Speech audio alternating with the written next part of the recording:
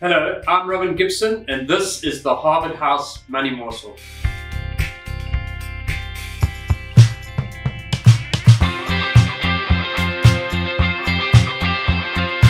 Welcome back. Thank you for joining us again. Please don't forget to like and subscribe. Click the bell when you get a notification of our release of a new video. I'm sitting today with uh, Willie Pelser, uh, Chief Economist and Portfolio Manager at Harvard House. Welcome, Willie. Thank you. Willie, uh, we've seen over the last sort of 10 days or so that the Rand has had a bit of a blowout. And uh, I think as we sit at the moment, we're trading about uh, 18 Rand, 19. 21 actually. Uh, 1821, sure. Okay. Um, so that was a long commute in this morning. Um, what is interesting though is that normally when we see the Rand uh, blowing out like this, we see the bond market uh, yields also rising with it. But that doesn't seem to be happening, which is unusual. So, what's the story behind the story here? Yeah.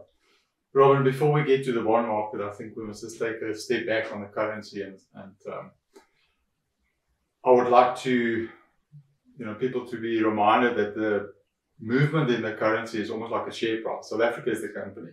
Okay. And um, as we know on share prices, depending on what's happening within the business, the share price can go up or go, can go down. So so when we look at the rand at the moment, it has yeah weakened a lot against the, the dollar. So there's some technical factors, and then there's obviously what I call the company. So let's just quickly focus on the fact that the dollar is also very strong. So and it's always a cross. It's one relative to the other. Yes. The dollar being strong at this point in time, I don't want to spend too much time but we've seen inflation coming out and we've seen almost like a slightly better economic performance in the US.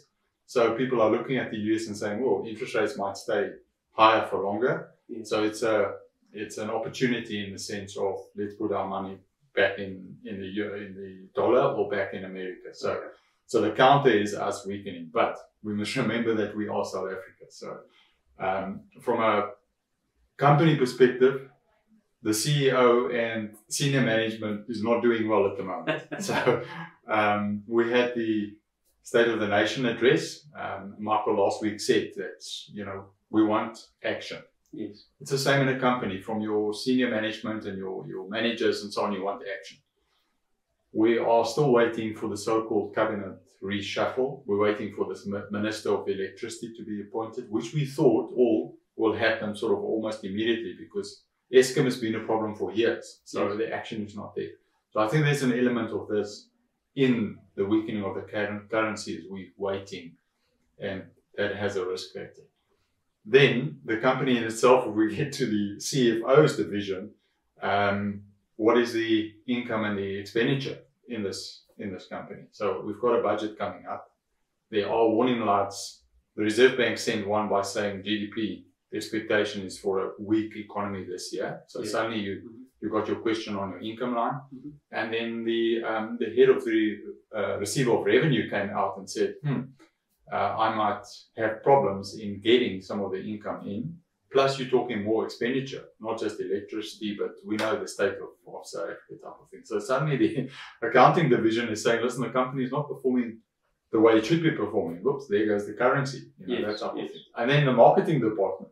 Yes. We've got uh, the uh, grey listing imminent. Oh, yes, FATF. Yeah. yeah, yeah. So that's an issue. Plus, Fitch, all these rating agencies are saying, hang on, this electricity issue, plus slower GDP, that type of thing, you know, there goes your marketing exercise in the sense of you haven't done enough to stay within your credit rating environment, uh, the grey listing and those type of things. So in combination, all of these things are probably 70% behind the move in the currency at the moment. So, Willie, to use uh, some terminology that Michael used last week, we talked about earnings season and and training up, uh, trading updates. What you're telling me is is that uh, South Africa gave a bum trading update and it's being penalised on the market. Exactly. Yeah. Exactly. Yeah.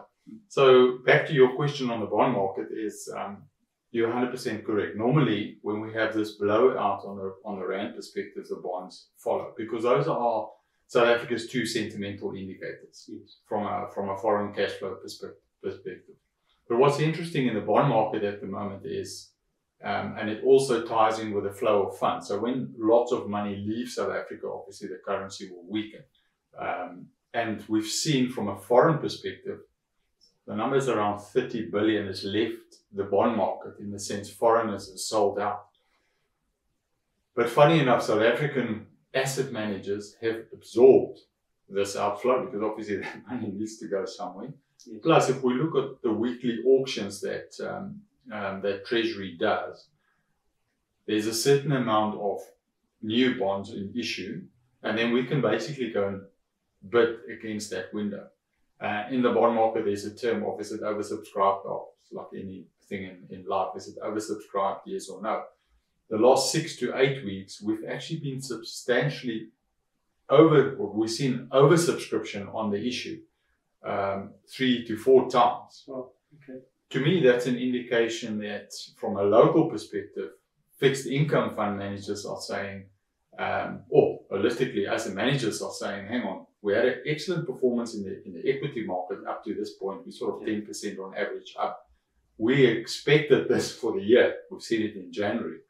Plus the scenario of the sketch earlier in the thing in the sense of mm, are things the hundred percent that kosher. So let's stay in the fixed income environment for that exact reason. There's some fixed income that will carry me through the year.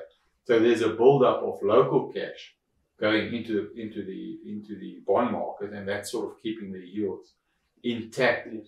Relative, it has moved upwards because yields go when it's negative, the yield goes up. So it has moved, but not in percentage term as much as the, as the rand. And that's that phenomenon. There's actually the concern about the, the engine again, the South African engine, and where's the place of safety? Because remember, our interest rates by default is higher because we've also upped interest rates yes. because of uh, inflation, etc., etc. So there's that dynamic playing out at, at the moment. So. Okay. So so normally we would have in the bond market more sellers of the bond, not enough buyers, which pushes the yield up because that's yeah. how the bond market works. But in this case, we we do have the sellers, the foreign guys going, but the local buyers are almost matching. So we've almost got a balance of buyers and sellers, yeah. which is keeping it in equilibrium. In equilibrium, yes. Okay. Yeah. Sure. Hopefully, one day we'll all understand this. Thank you so much for tuning in. Uh, Willie, thanks for giving us some insight into some of those dynamics. And let's uh, hope we get a cabinet shuffle and uh, and we start to see a visible uh, minister of electricity so we can move forward. Uh, thank you for joining us. Don't forget to like and subscribe. See you next time.